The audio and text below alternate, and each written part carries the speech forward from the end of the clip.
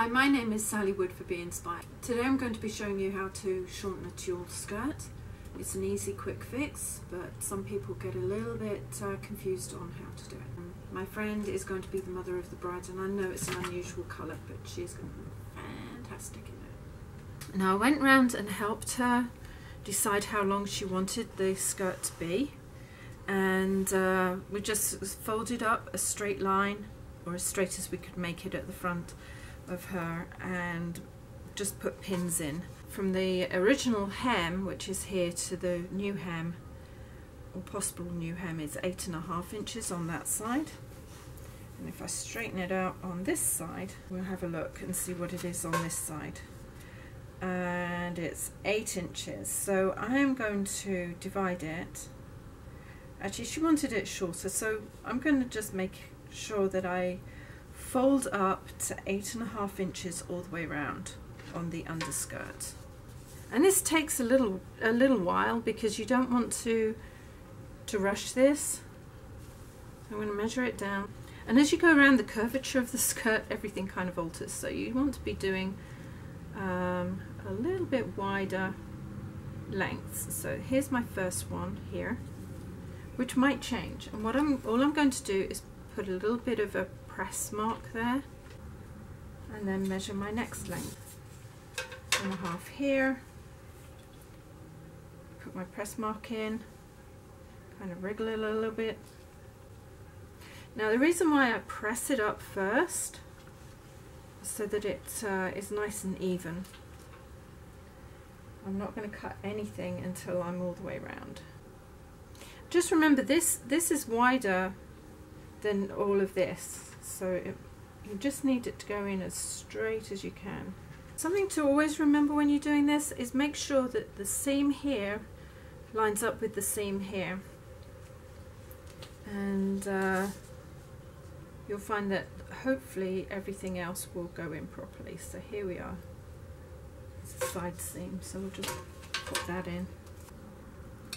That's always a good good way to make sure your or the skirt hem isn't moving too far out of line.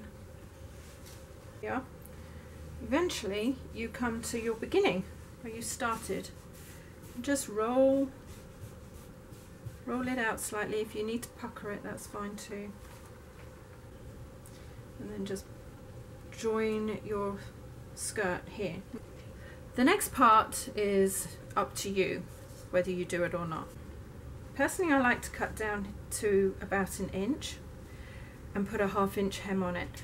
If you don't want to do that I would advise you just to do a zigzag along the bottom and then cut this back to the zigzag. You'll find that it's easier, it shouldn't roll the fabric. So here goes.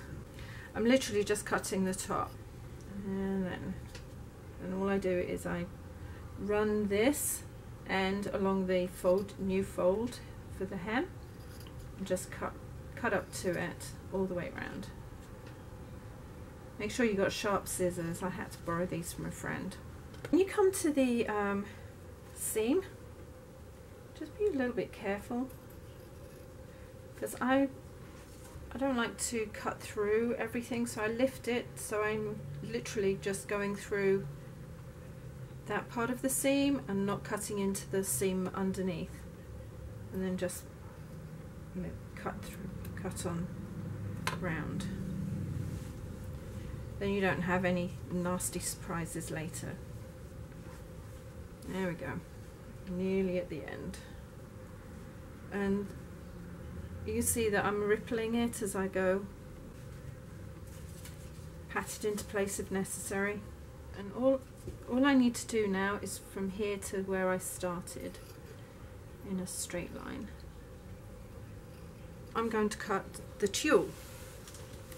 This is the part I really don't like doing. The easiest way to do this so you cut evenly is one width at a time.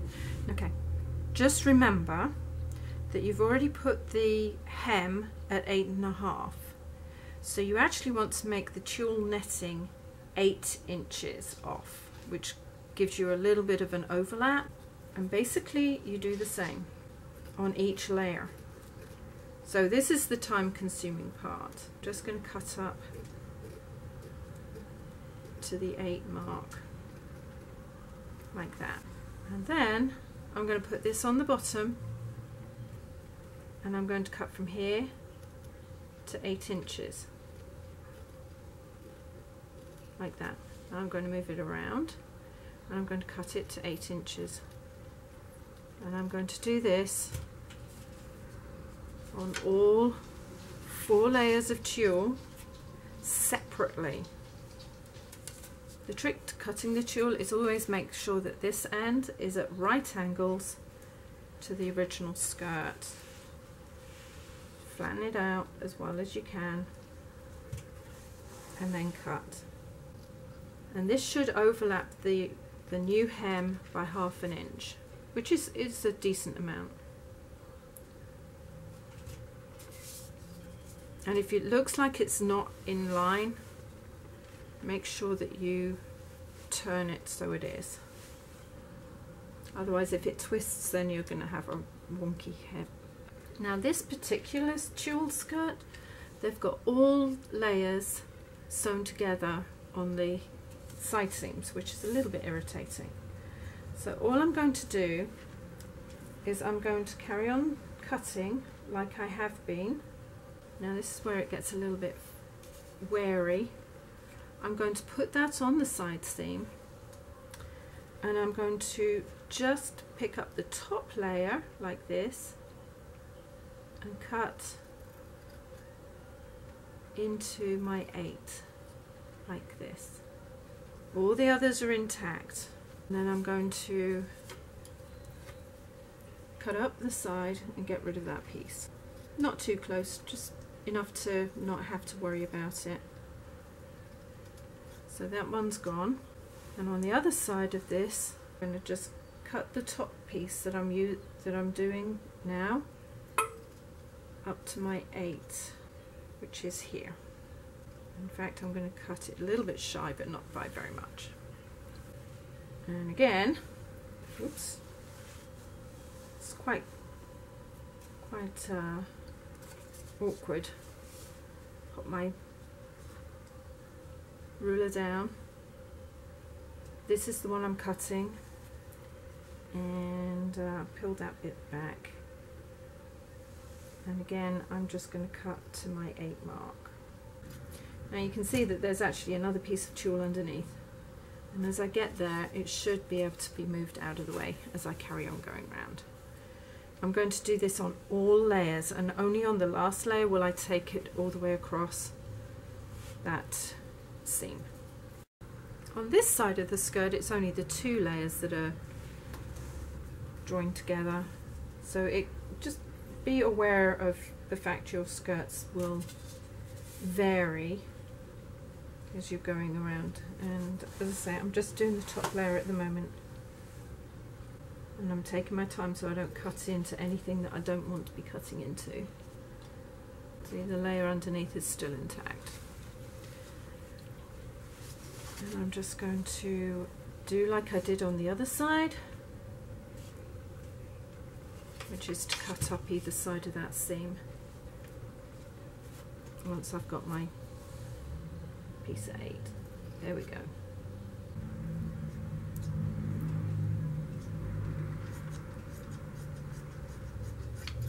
Unsop piece. Make sure you separate them. These are, they're not hard to do because there's really no hemming on the uh, tulle side. They're just time consuming separating and cutting. And as I say, you could you could just cut all the way across, but in my experience, I've never had a really good finish with it. So that's why I do it separately carry on going. Now I'm just doing the second layer on this skirt, so I'm just going to come up here to my 8 mark. Now the top piece of tulle I've already cut, so I'm going to cut the next layer. I'm holding that one back like this, and again the bottom goes at right angles to the original skirt. And I'm just going to cut up to my 8 mark. All the way around again. Just coming up to the last part of the top skirt. And it's a finer tulle. And it might be wider than the original so but the main reason for doing it separately is this. If you make one mistake on one length that's okay. You make one mistake on all four five six lengths then uh, that's more noticeable. Shake that out. And you'll see that there's the bottom of the skirt of the tulle and there's the bottom of the underskirt. So it just hangs down about half an inch to an inch. You don't want to be doing it the other way. The other way would be that way with the, the underskirt showing. So always make sure that the top skirt is half an inch longer than the bottom. So starting on the side seam I say it's not very easy to see. Black is one of those horrible colours. I'm just going to fold the, the raw edge into the pressed new hem and fold it over and then pop that underneath the foot. So make sure it's all under there. I can't even see my glove see today very well. So that's that under there like that and then on about number three stitch length. Pull all that fabric over there. I'm going to just fold the next length in in between the two the pin and the original pin. And I'm just going to sew the hem up. Like that. Where the next pin is remove it. Fold the raw edge into the hem like that. You don't have to tug very much because it's going to, you're, you're just trying to follow the curvature of the original skirt. If you pull it too much it's going to wrinkle and allow it to follow through. Repeat this all the way along this bottom of this skirt to the end and then you've got a nice even half inch hem. What you could do if you wanted is to leave that open and zigzag and then just cut this part of the hem back to the zigzag but I, I prefer not to. I prefer to put a bit of weight in, in a hem. When you get to the seam make sure that when you fold everything over that the seams the seams match up. And that might mean that uh, this is walked a little bit so if you need to put pleats in just to go around the corner, that's fine too. But it should even out as you go as you get there. So my seams line up. I'm just going to pop over the, the, the stitch line and carry on going round. Now my friend who had the black skirt I altered that she wants to have a sash made and she'd already purchased one sash so she purchased another and what I'm going to do is I'm going to join them. I'm just going to trim back along this seam here like this and the same on the other side because I'm going to join them on the bias. Then it's going to be easier to unstitch along the base here Let's see how they've uh, sewn it first, which is actually a straight stitch. Sometimes they use a loop stitch, which is a bit annoying. So all I'm going to do is just unpick a few stitches. And when I say a few stitches, I actually mean quite a few. So I'm just going to un undo these a fair way down. Now I've uh, unstitched quite a ways. I'm going to put in the front side of one this side and then with right sides together I'm going to pop that across here. Now I need to go diagonally across so we're going to be use, losing quite a bit of area and I still have I'm just checking to see how much how much more I need to unpick. So there's a little bit more on this one so it goes in flat and a little bit more on the other. Now the reason why I unstitch like this is I don't like cutting and then having to go back and pick all my threads out. I also, as long as you keep the threads quite short, you you can control it quite easily as you take them out and just trim them back. My mother showed me this years ago. Now sometimes I will use an unpicker, sometimes I'll use my scissors, but it really depends what I'm working on. And something fine like this, I tend to use my pin. So I can't stand having to go back and take out those horrible little threads. Either way is time consuming, it doesn't matter which way you choose. So let's have a look, see if that's wide enough. Should be almost there. Uh, that goes there, that goes there. Just a wee tad more on here and I'll be done. Now that that's open like that, I've got a nice square flat area there. And now I have the nice square flat area here. And I'm just going to go across like this and I will be marking I'm actually going to fold that over and iron it because it's such a wide piece of fabric it needs to have a sew line. I'm just going to press this out just a little bit like this. I'm not going to press it for too much because it, it really doesn't matter and then I'm going to put that at a 45 degree angle. It needs to go across right angles there to there right up to that corner. As I say, it's a long sew line and that's the only reason I am doing it this way. And pick the fabric up if you're not quite, if you don't think you've got enough movement. There we go. Now the other thing I'm going to do is lay this one out flat. I'm actually going to press this one too just a little bit. Now I don't have it on a very hot temperature, it's only on number two. No water, oops, daisy, what happened there? Be really careful, I think this has fallen over. I always buy an iron with a clear base like that so that uh, the Teflon doesn't doesn't uh, rip up the fabrics when I'm ironing them.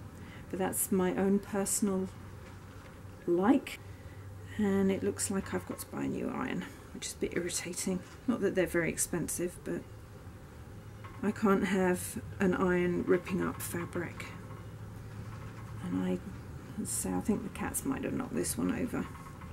I've had it a number of years, so something across the front here that's not quite right. Anyway, enough of my problems and on to this. Seeing as we had a little bit of trouble, I've just cut two triangles out and I'm going to press those into place on here. And the reason I've done triangles is because I don't really need the whole bit. So this is fusible Make sure the fusible side is down and make sure it's on the wrong side of what you're sewing onto. Makes a horrible mess otherwise. So spread that over in the right place. As I say, you only need it from the from where you're going to be stitching across and I don't do enough dressmaking like I used to, to to remember everything but anyway I'm not much to show the you that I do make mistakes occasionally. But that will stabilise that sew line. There we are, that's fine. Oopsie daisy. I'll get that off later. So that's on there. And then on this side, there's my sew line. Again, make sure that's that's quite even fold it over slightly from where you were sewing and again iron that into place make sure you've got plenty of uh, water going through because it sticks on better um, what I'm now going to do is like I did before I'm just going to fold it over but seeing as I've already got the mark here. I'm just going to use it again. There we go. Fold it along there. It's a little bit firmer than it was, but it's it'll be fine. And I'm only going to press, literally press. And that will give me 45 degrees across that I need. And I did get a little bit on there, so I'm going to clean that off before I start ironing again. Otherwise I'm going to end up putting it all on here. So there's my press line there. It's a bit wonky, but it'll, it'll straighten out. Okay, so I've trimmed back. I've repressed my diagonal line. And now I'm going to just pop that back on top of the uh, the other half of the sash and you can see they both correspond. And I'm going to repin it. Isn't the first time I've made of that uh, this has happened but hopefully I'll get the rest of this done quite quickly. Put four pins in just to hold it. There and then in, again in the middles. I don't do dressmaking anywhere near as much as I used to. I used, this is how I first earned my living when I was younger. Start again. So I'm going to line up my sew line with the little arrow on here. Do it on the number four. And let's go ahead. And that is working a lot better. Still not 100% but way better than it was. I'm going to actually give a little bit of a make it a little bit taut but not not too much. I'm not pulling.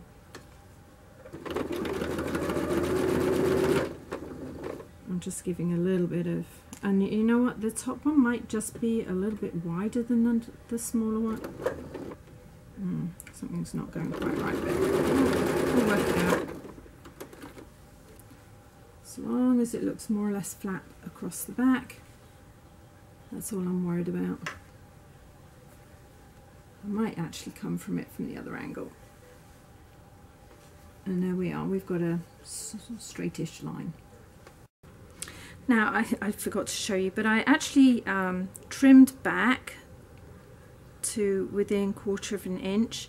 And the other thing I did was I started at this end to the middle and then flipped it over and went in only because the, the fabrics were walking against each other. And I lost that footage so I'm really sorry.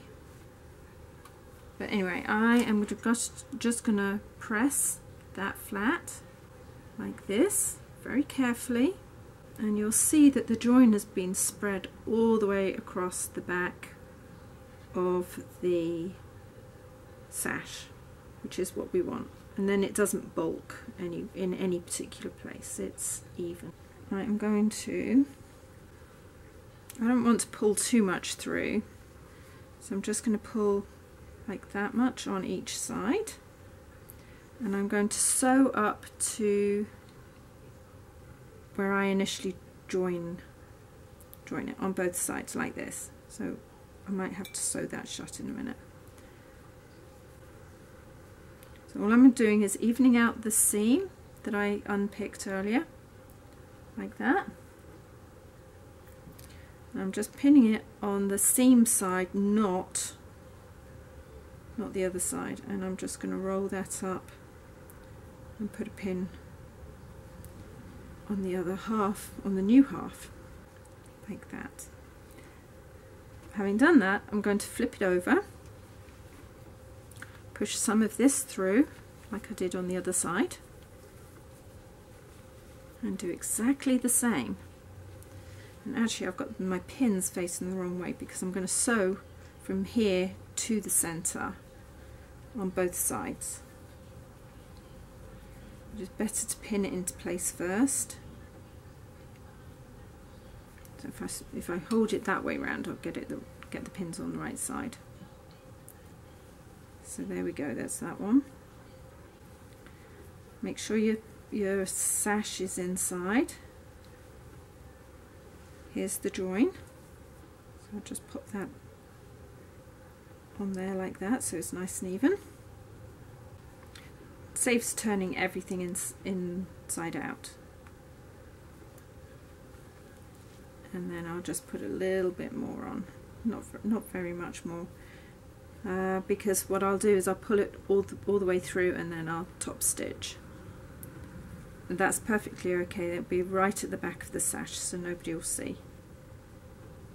And I get it as close as I can to, the, to either side so I might only have maybe an inch to an inch and a half to top stitch. I'll show you show you that in a minute. So that's that part ready to go. Now the second part some loops. Now I know that was the diagonal, so what I'm going to do is I'm going to fold that down so it makes a triangle. And then I know where the warp and weft threads go, which are either along along here or that way. I'm going to cut that on both sides. That piece I can get rid of. The same here, this is the diagonal. Fold that down, which will give me the base of the warp or the weft threads. And cut that too. I'm also then going to fold that along here because that's my diagonal and I want this straight. So here we go. And I'll do the same on here. And the reason is she wants belt loops to hold the base of the, the sash in place. And then I can turn it round and do the same again, just fold that in. Because as I say, this is my diagonal, I can see where I sewed it. With a bit of luck, that should give me enough lengths, or enough length to make some loops. Get rid of that, and the same here. Nice and easy. Now excuse my stomach, but I'm going to measure my belt loop. My belt loop is two and a half inches. So I've got plenty of length or width. Now I want one at the centre back, to either side, so I kind of need five. And I would make them about an inch long, an inch wide, sorry, so I'm going to just cut these into one inch strips. Like I've shown you before on my upholstery projects, just be careful you not to cut through your tape though. Just carry on cutting. Okay, so I'm going to fold them into in half. Okay, I'm just going to start on the sash part first. And I'm going to slip the pre-sewn side under. Usually go back further than about an inch so that I can actually stitch on top of the original stitches and that will hold it all in place. I'm going to pop that down there and I'm going to sew along the original sew line and I think I think I'll be okay on a size 4 so here we go remove the pins as you get there. Only so you can wriggle the fabric into line. And because you're going with the warp or the weft thread you can which are the stronger threads you can pull it to give a bit of tension and it'll go in straight. And if we if I did my job right here we go here's the join here. I'm going to get there. I'm going to actually double stitch over it. Not this time around I'm just going to carry on sewing for a little bit longer.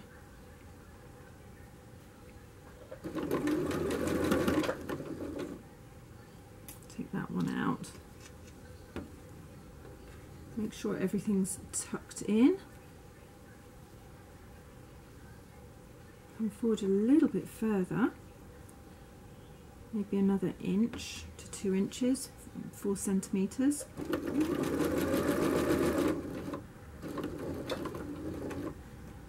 Reverse stitch, only so that you're secure on that side. Now kind of leave it popped in like that and start again on the other side exactly the same way. And I've given it a good two inches there I think. Make sure the top and the bottom are in line. Carry on going. The end of the second side reverse like you did on the first. Here comes the magic. You just pull gently on one side of the sash comes out. Pull gently on the other side. Oops, like that. And there's the second side. And it doesn't look very neat at the moment, but we're going to pull this in. Um, I didn't do such a good job on matching it, but that means there's a wrong side and a right side, and all I'm going to do is top stitch that into place. I will confess, I've just opened the seam up almost to where the um, the join is on both sides only because there's so much fabric to be taken in and I'm not happy with that so all I'm going to do is pull the top keep the keep the bulky or the loose bottom underneath so the dog feet will pull it through push all your threads inside start just on the other side of the seam where it is joins and so forward. Oops, daisy. Now it might not want to go straight at first. As I say, then fold, fold the fabric over, make sure the two joins are equal. So kind of level like that as you sew and just keep it taut on the top. The dog feet, with a bit of luck, would do everything. And the dog feet are the ones that kind of munch everything through. So here, here goes. If there's a little pleat, it won't matter. It'll be right where the other join is. The top really tight. And this sometimes happens, as I say, this is a, this is two separate uh, pieces of fabric and one might have been slightly wider than the other you know, a quarter of an inch will make a huge difference. So say tuck that right underneath and you can see it might pleat just there at the end. But maybe not too bad.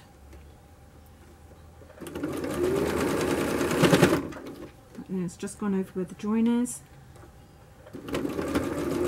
Carry down a little way and then we're done. Just trim back you don't have to overstitch on this. And there's a little bit of crinkling, but if she has that on the underside and it's all bunched up like that, nobody's going to notice. So I think she'll be pleased with that. And so you can't make silk purse out of sow's ear. Now, these are my hoops, or will be. I've folded and ironed where the centre is and all I'm going to do is fold one side into there and the other side they're going to be quite thin but I don't want them too thick let's see if this works if not I'll have to think think through this again put it through a, a little ways meant to be delicate I mean it's a it's a pretty skirt so put a couple of stitches in if it doesn't pull just move it along It'll pull eventually. Oh, maybe it won't. Might not have enough on there. Is not the best way to do it. Once you've got a thread, just pull it from behind to the end.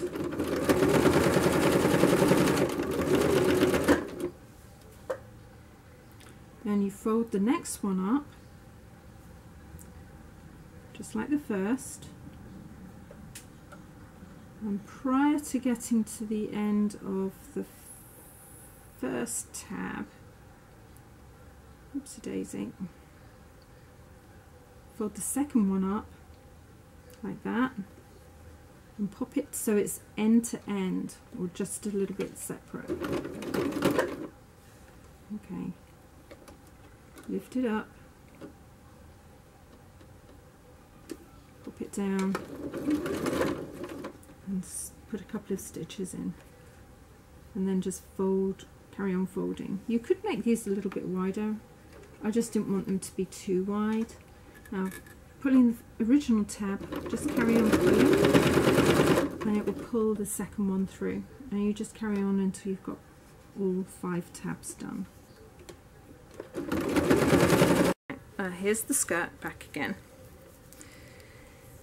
I'm going to find the centre back. Now the centre back is here and I can't put one of these ties straight over the centre back because it's uh, not a good position. trim up the threads on that.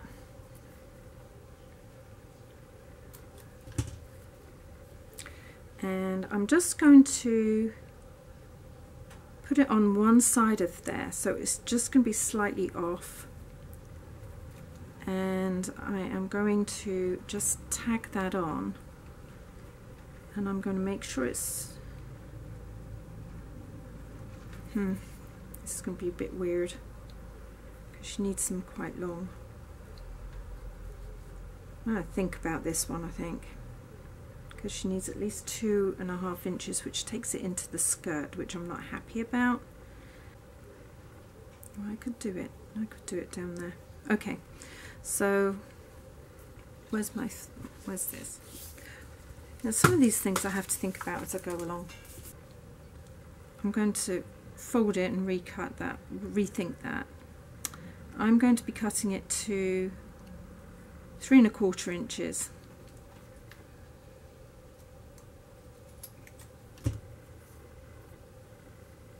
And if I fold that down half an inch That'll definitely be at the top, like that. Sew that across the top, and then I will fold that up the appropriate amount there, and just tag it into the skirt. So it's going to look like that. And the reason why I did them so thin was so that they didn't show up too much. I'm going to put one in the centre back, one just back from the side here and then I'll work out where the front is and measure it so it's even so like my jeans I've got one above each hip to the side and the back. So this is going to take a little bit of thought a little bit of planning. The center back is here so I'm going to offset it slightly. Put a mark there. I'm going to measure across six inches to the side. Put a pin there. And another six inches from there to the front. I might adjust these in a minute. So here we go. There's the one that corresponds with that, the one that corresponds with here. Now the reason why I might alter it is because I was thinking, although it will be spread out, of her putting a belt there. So was all swapping everything over and it might be a bit tight. So let me move this one back an inch and that an inch and that will give me, that actually gives me seven inches. That'll be, that's fine. And then I'll just move this one back half an inch. And the same on the other side. Now those, those are the marks where I'm going to put my tabs. And my tabs, and then I know that I'm starting off with basically the same length. They might vary slightly, but not, but not by very much. And cut them each separately because you sometimes find if you add if you put them side by side and then cut them that you inadvertently cut them shorter each time or longer each time probably longer each time so I'm just going to do that I've removed this part of the sewing machine so I can actually fit the skirt around it.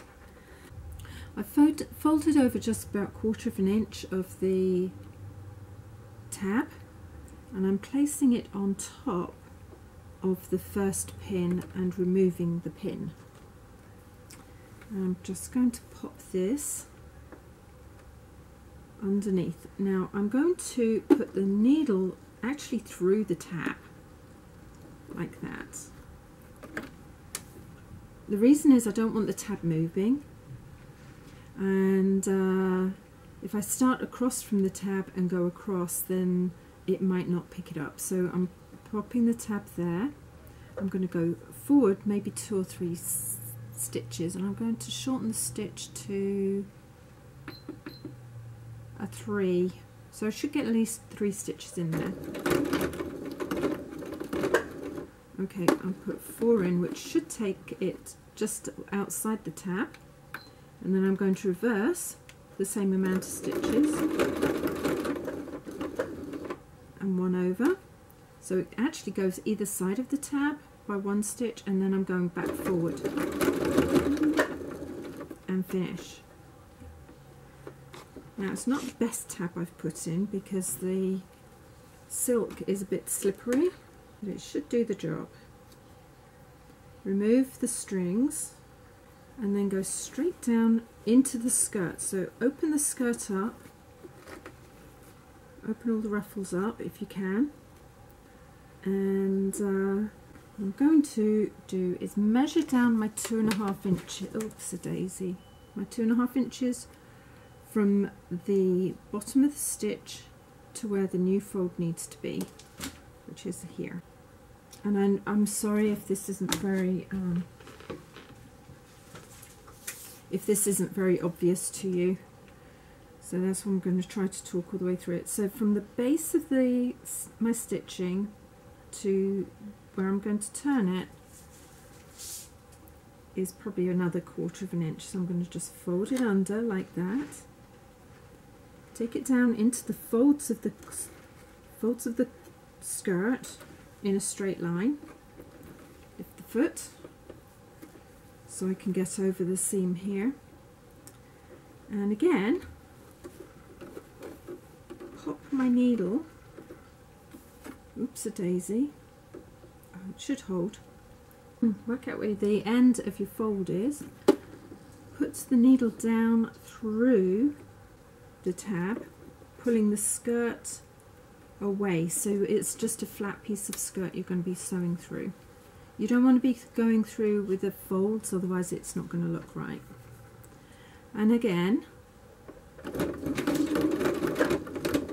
oh dear, I think that one moved. So all of this is really quite slippery and gauzy. But you need to go all the way through all of them. There's my four stitches. Four stitches that way and then back forward. I'm going to lift this up, carefully cut back, and I can't really see what I'm doing these days, so that should be long enough. Cut all the way through to the back of the skirt.